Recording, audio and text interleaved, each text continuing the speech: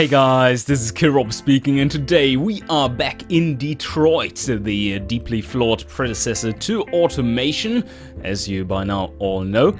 And uh, if you have made it that far, you have seen me uh, delve deeper into madness while continuing playing this campaign. And I think we are almost at the point where we are completely detached from any kind of uh, reasonable game balance.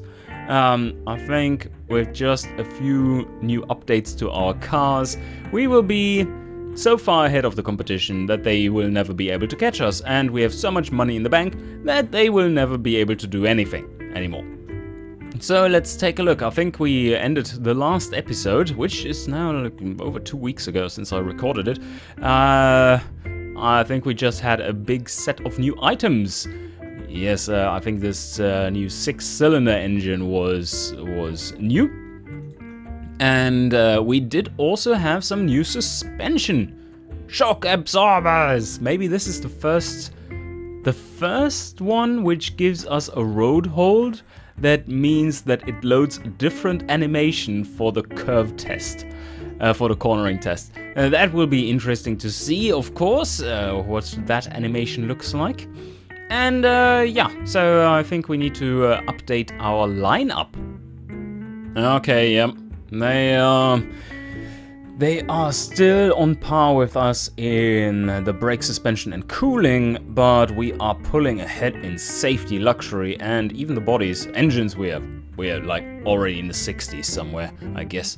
Uh, so, uh, not much competition there, but um, still, just update our lineup. And this time around, I shall try out just leaving the name as is to not uh, have to um, switch around the, the um, lines uh, or the delivery lines or distribution lines, I think it's called. Um, anyway, that's. Uh, that is certainly helpful. Um, and that is something that was written in the manual of the game. And uh, having a manual of course, back in the day, it was kind of required because these games, just by the by by the technical limit, limitations, didn't even have the the really the possibility of informing you properly because there's so little text that can fit on screen, and you didn't have voiceovers, and yeah, basically impossible to tell players correctly uh, what is going on, and uh, back in these engines it was much harder to have proper tooltips. As you can see here they have solved it by uh, having one little text box down there which informs you what what everything is. Uh, that's that's already very very usable for the time.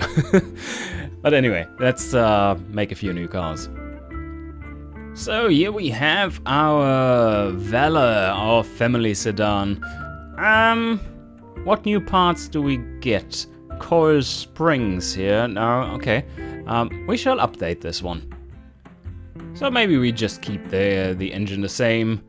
And, oh, brakes, multiple cylinders. Wow, the super luxury and shock absorbers. Yeah. Okay, let's let's go with this one.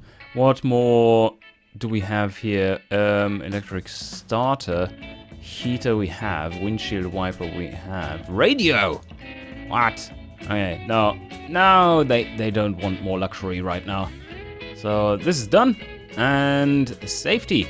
Um, all the safety we can have. Bumpers, headlights, power brakes, safety belts. Do we have anything else? Nope, we don't. Alright, that's it then. Okay, so now we just um, name the car the same thing. And we confirm the replacement. And um, see what happens here. So, um, test all, and maybe we see the new animation. Will it be amazing? We don't know. The acceleration sure is the same as always. And the braking? Uh, uh not too bad. And the... Nah, oh, come on. Are you kidding me? Ugh. Okay. No, they probably are just like three animations in the game. So you, for the first third of the game, you will always see your car drift out of the corner, something like that. Yeah, it's, it's all still shit, and you, you, you're not told why. So nothing has changed. Of course not. It's still the old game. Oh yeah, if only someone made a better game out of this. Yes.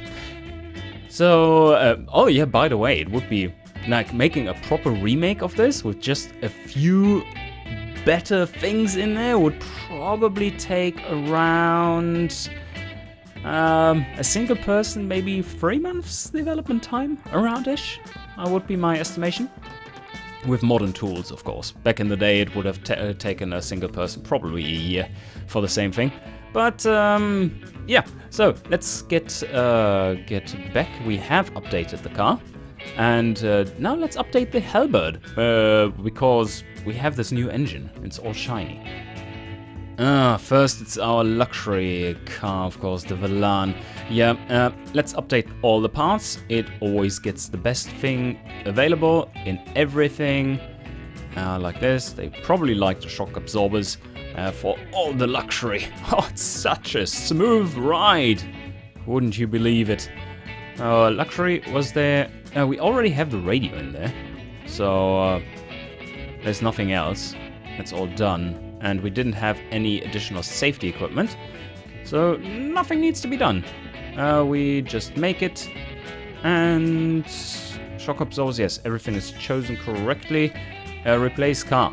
Yes, we shall replace the car and test everything.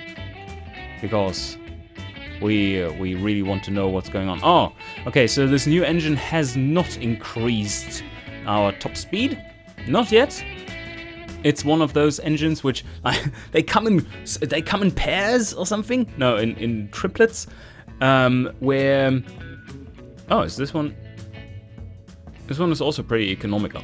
Um, where basically nothing changes, where you can't really tell a difference between the engines. Maybe there's a slight difference in in uh, zero to sixty time, but I wouldn't know how uh, how an engine can change in top speed, or not in top speed, but in 0 to 60 time. That would mean that the gearing is all wrong if they don't have the same power. Um, so th that is that is weird. All right, but now it's uh, time for the Halberd. Um, so awesome engine, yeah, awesome engine, and well, I guess everything needs to be updated. But they don't want more luxury or safety. Um, yeah. Same shit there. Uh, so uh, the front. Maybe we can make the front smaller. But we we did try that, didn't we? And it didn't change much. It made it worse. Everything is worse. Ah, this looks so sporty. Yes, so sporty. All right, testing everything. How much more power does this one have now? To uh, get to top speed. And we get 78!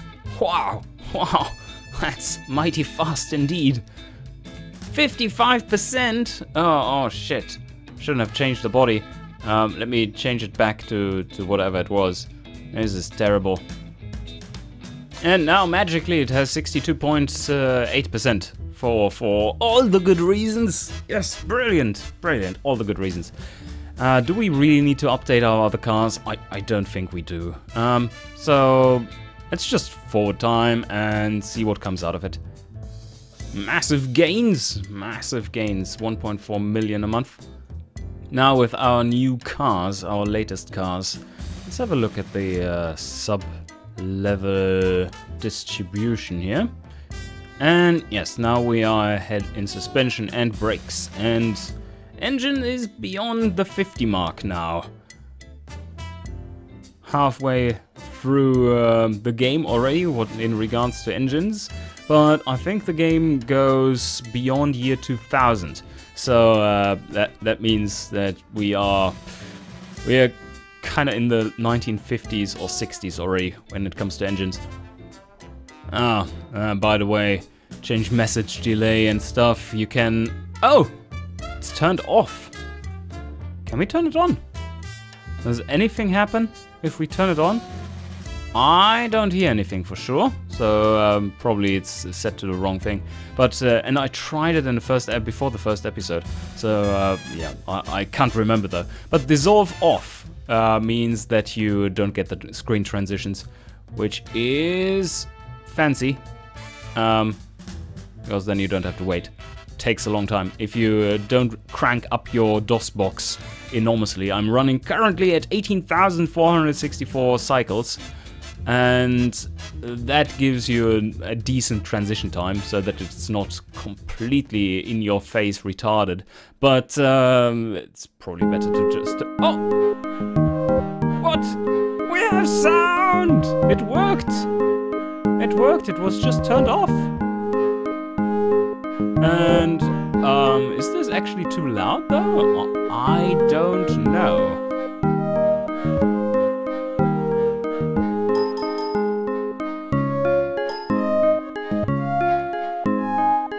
Um, yeah. No, from my... looks really loud on the voice meter here. Okay, I'm, I'm just checking the levels and I don't think we can have that on. Uh, let's let's keep. I'll just shut up for a bit and just play so that we can suck in the atmosphere.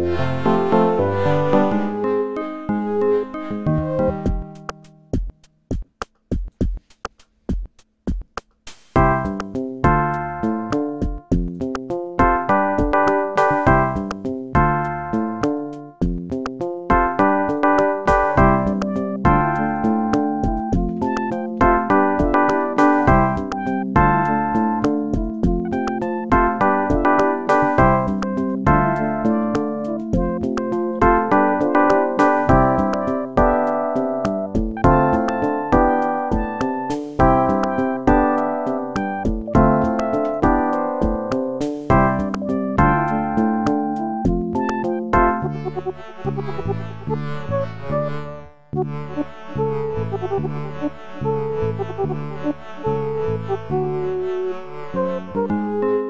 I think this uh, should suffice with all the uh, the magic, nostalgic, uh, bleepy bloopy sounds. And uh, let's turn it off, uh, because this is definitely too loud. And I'm not recording on two different channels, but rather just on top of the music, so that doesn't work. There we go. Silence! Silence! Ah, never was silence such a uh, beautiful treat. Um, anyway. Okay. Some new technicians, because we, we didn't really have enough of them already. So now 150 are working on everything! Apart from engines. 200 there. Uh, yeah, sounds like we uh, will be in the 2000s before the Second World War when it comes to engines. Okay, year end, let's see what our sales are doing. We are selling out of the Halberd, okay. We are definitely not selling out of the Mule. And the Whale, not either, but the Vela. And the Velan, oh shit. We do need more of these. Oh, it's just running on one line. That explains a lot. Maybe I just need to go to the bank and upgrade my factories a little bit more, because I, uh, I have the money. Oh, let's just, uh, yeah, transfer a bit of money again. Uh, how about 30 million? Oh, okay. No, that's not possible. That is too bad. That is too bad. Level 10 is maximum, so maybe we need to uh, just open a completely new factory. Hmm, we could do that. But then, oh no, I have to do all the lines again. Oh. Okay, maybe I could could open it in Northern Europe. Then we don't have too much shipping going on between uh, Europe and... Well, currently we still have that, so... Uh, yeah, yeah, let, us do it in Northern Europe. Alright, factory level 10 for uh, basically nothing. Alright, I can I can live with this. And now we need to go through and assign this shit. Ugh. How about 120 workers, so 20 per line. Only that, I, I don't think we need too too much of uh, more production there. Level 10 factory spits out a lot, even if you only have 20 workers per line. Alright, done. Again, that didn't take all too much time. It wasn't too bad. I hope it works now, though. Oh, let's see what happens. If we are massively overproducing. No, no I don't think we are. Hmm, maybe slightly. Let's have a look at the models, if they're actually shared correctly across regions. Oh, look. Okay. All the Velas have been, uh, have been sold. That means we need even more production. Oh yes, we do need more production. Let's up it by another 120, that's simple enough. Oh yep, there is Automation Inc. Financially, we have been doing remarkably well this month. Indeed, we have. Uh, like, what what is our sales looking like? Valor. Wow, we're still selling out. Huh. Shit. Okay, this is now perfect, but we do need a few more halberds and uh, valors. Well, that's impressive. So that would be five lines. Um, let's go for a hundred then. Oh yeah, even more money. As if we uh, needed it. No, we don't. We have plenty of money already. Uh, 31 million. Let's put that into the bank and see what our, our models are doing now. So this is looking good. Uh, or not. We're still, still underproducing. Okay. Okay. Not selling anything in Southern Europe. Something wrong there? Okay, now that should lead to some overproduction. I hope at least uh, that that is the case. I won't forget the bank either, and then we see what comes out of it. Oh yeah, 2.35 million. And we are... Wow, okay, this is perfect. Just 9 got to stock out of 1,112 produced? No, that's wrong. No, it's correct. I think it's correct. Yeah. Math! Math! Life on, life on air. That's never a good idea. Oh, we do have a new cooling too. Spare tire, luxury. wow, that's a luxury. uh, a high quality luxury even. Safety windshield. Hmm, some new stuff in here. Alright, another year has passed. We have stayed consistent above 2 point something million every month in gains. And let's see how our cars are doing. Um, we still have, apart from Warpahead, they are doing really well. Um, we are, we are leading the pack. And now we are priced a little bit better too, just below the competition. Now, another profit warning. Uh, warning, no, warning to the, my competitors rather. Uh, why is that? Um, no, it's just unchanged. There's so much cash just heaping up in front of my front door. It's scary.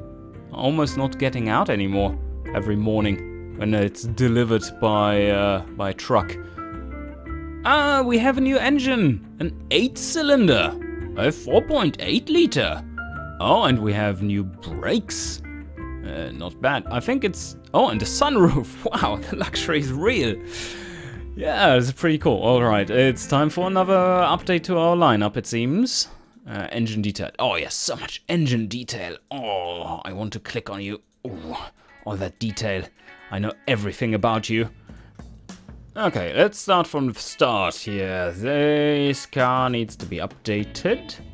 I uh, don't have any uh, new body type, so um, let's uh, just update the parts list. Uh, are we going to stay with the four-cylinder? I Guess we could upgrade it slightly.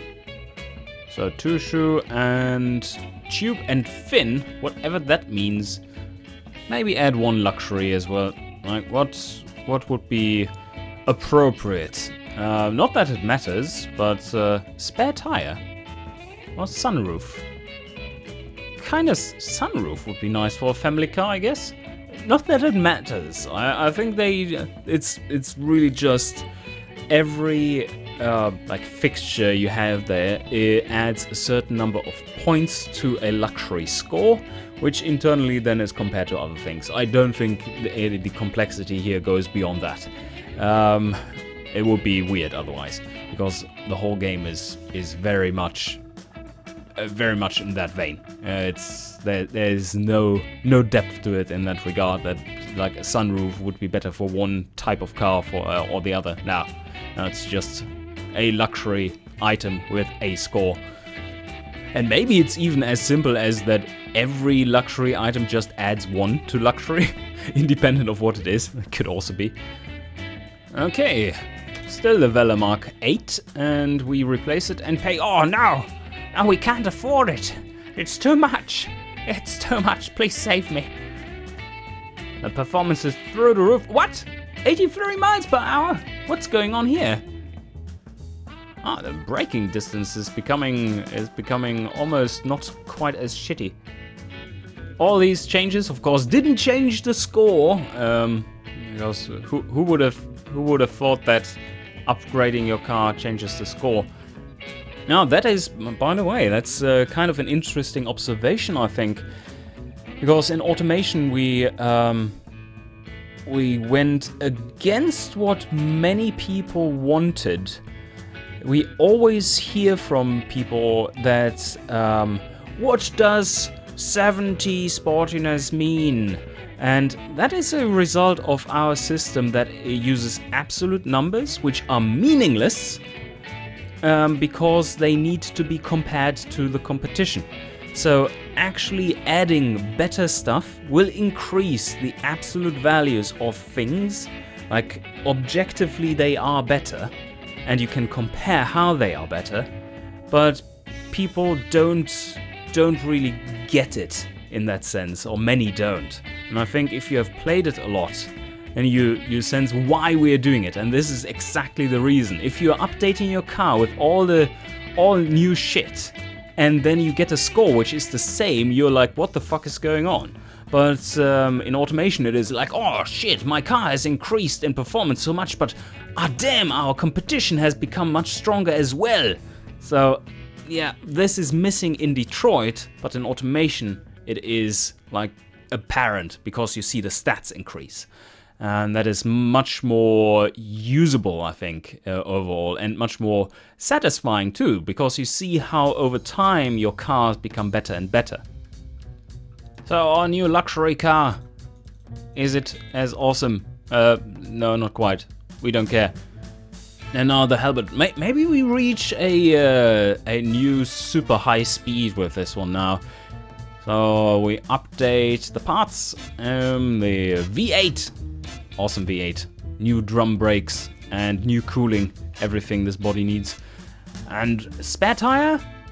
As a luxury? Yeah, I think we give it a spare tire just for like for for the role playing of it. Whoa, huh. This costs half a million to replace. I think I've been overproducing them a little bit. Whoops. Okay, now now top speed.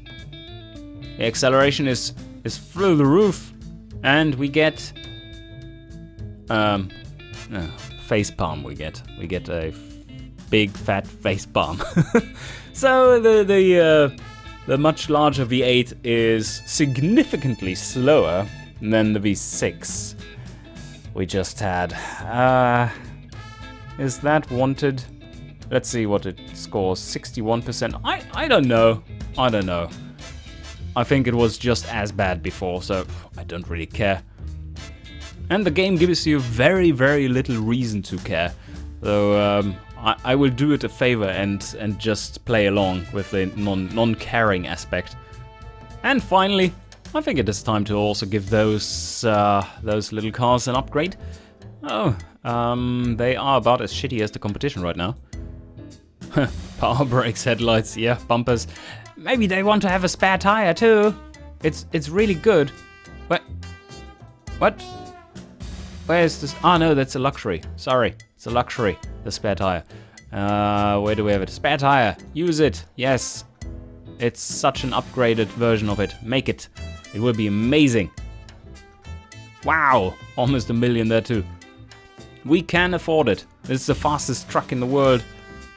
Whoo! 86%. This is actually pretty good. And now the whale is up. Oh, another million is gone. Shit, we need to really sell out of those. Uh, all right, uh, run, run everything. See what comes of it. Uh, 61%. Yeah, the whale is shit. So uh, that's that's not a news flash. We still have 17 million.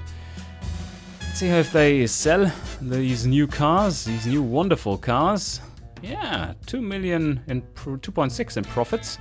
And uh, maybe we should stop overproducing some of these, just reduce the numbers. And uh, yeah, uh, let's take a quick look here. We are selling uh, the halberd. We have plenty of halberds. We have plenty of mules. We have even more whales. We have a few valors and no vallans. Oh, alright. I know where that production is going then. But now, let's take a quick look here. Do, do you start to see some trends? Yes, now we are ahead or equal in in basically everything. Um, even the brakes, suspension, they have caught up slightly. Cooling, we are ahead. Body level, I think we will be able to uh, get a new one reasonably soon as well. So then we are basically in the 40s uh, when it comes to car design already. And uh, yeah, I think this is a good time now that we have updated our, our lineup um, to call this an episode. And I hope you guys enjoyed, and see you next time!